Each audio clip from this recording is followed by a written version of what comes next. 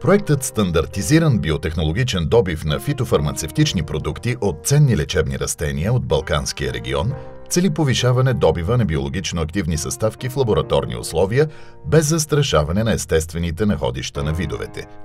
В Института по органична химия с Център по фитохимия е създадена инвитро колекция от лечебни и етерично маслени растения от балканската флора – мурсалски чай, котенце, видове кантариони, котешка стъпка, британски оман, бял пелин – от швейцарския партньор на проекта са разработени аналитични методики за експресен анализ на продуцираните вещества и оценката на биологичната активност на инвитро култивираните растения.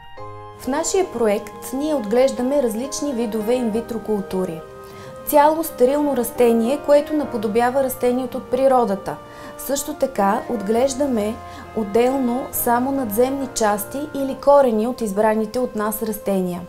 Освен това, ние можем да повлияем развитието на растението инвитро, така че да получим и растителни клетки или клетъчни агрегати, които отглеждаме в течна или твърда агарова среда.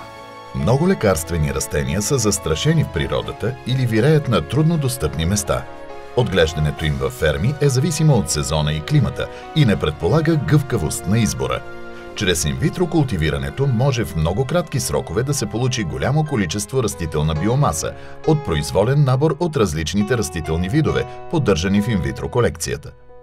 Инвитро системата е налична независимо от сезона и дава възможност за фундаментални научни изследвания върху растението.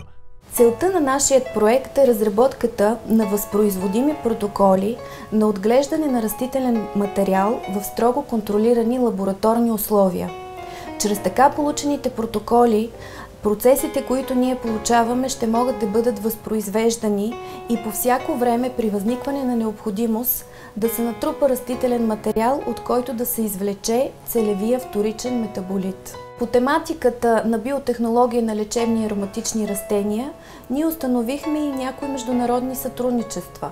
Например, с Института по експериментална ботаника в Прага, към Чешка академия на науките, Националния изследователски център на Кайро, Република Египет, а, така и Център по биотехнология Борш Седрия в Тунис.